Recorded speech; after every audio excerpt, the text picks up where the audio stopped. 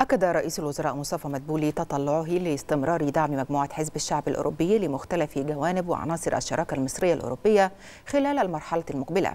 وخلال لقائه برئيس مجموعة حزب الشعب الأوروبي في البرلمان الأوروبي أكد مدبولي أن مؤتمر الاستثمار المصري الأوروبي المشترك قد أسهم في نقل رسالة واضحة للقطاع الخاص الأوروبي بأن مصر تعد مقصدا مهما للاستثمارات الأوروبية خاصة في ظل إجراءات الإصلاحات الاقتصادية الهيكلية التي اتخذتها مصر خلال الآونة الأخيرة.